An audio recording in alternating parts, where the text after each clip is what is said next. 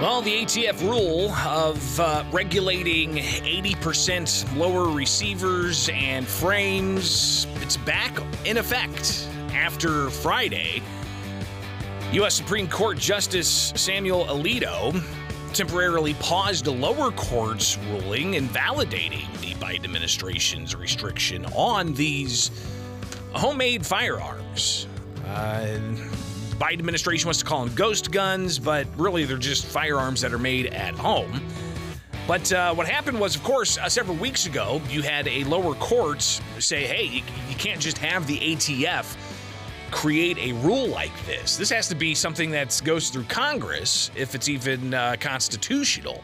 Uh, but you've got uh, the ATF under the Biden administration just making a rule up that's essentially lumped in a piece of metal as something that could be turned into an operable firearm in short order. On uh, the frames and receivers issue, uh, still very much alive in the courts, as after a lower court said you can't do this ATF, federal governments went to the Supreme Court to seek a stay of sorts to essentially put that ruling on hold. And that's what Samuel Alito did on Friday, putting a temporary pause which uh, actually is only going to last until August 4th. Uh, that's because, you know, typically when you have um, a policy that's in place that gets overturned in the lower court, there there could be some exigent circumstances of sorts that might require that, that that rule be put back into effect until more litigation happens with the appeals and so on. So that may be the thinking here. But uh, Alito issuing that administrative stay only until 5 p.m. August 4th, and he also gives the gun owners, manufacturers, and firearm advocacy groups uh, the ability to file their response to that uh, request for a stay by Wednesday. So uh, interesting to see this all play out in just a, uh, a handful of days here uh, from the U.S. Supreme Court, and that's after the Biden administration asked the U.S. Supreme Court to step in on uh, Thursday to have that stay in, in place it's interesting because we saw something very similar with the case out of uh, uh, Naperville challenging Illinois' gun and magazine ban. If you recall, Law Weapons, Robert Bevis, uh, the owner of Law Weapons, he sued last year before uh, Illinois implemented its gun and magazine ban. He sued the city of Naperville for their gun and magazine ban.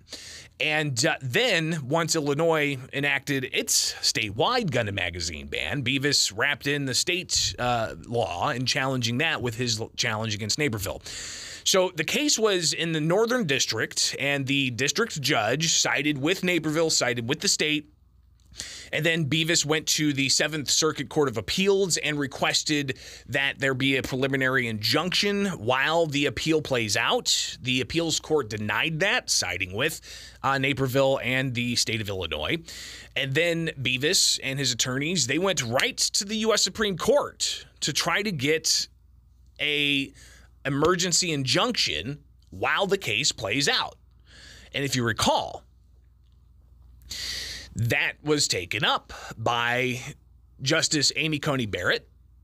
Justice Amy Coney Barrett taking it up signaled that the U.S. Supreme Court's very interested in this case.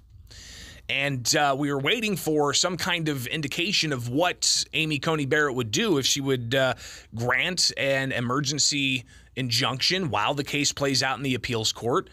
Uh, or would she deny that? Uh, and then you had all the happenings of the Southern District cases getting consolidated in the Northern District cases with the Seventh Circuit Court of Appeals challenging Illinois' gun and magazine ban, and apparently that being on a uh, advanced docket, uh, a, a, a, the rocket docket, so to speak. Uh, that signaled to the U.S. Supreme Court that the Seventh Circuit Court of Appeals was indeed uh, working on this issue in an expedited fashion.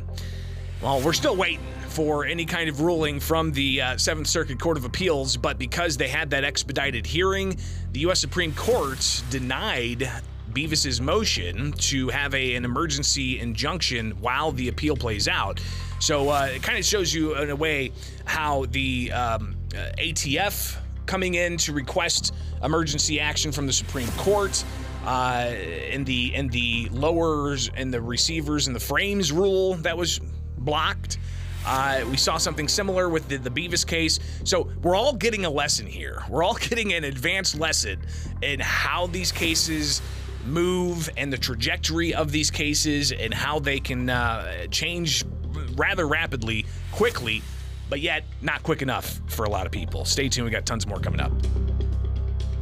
From the Fly SPI studios, take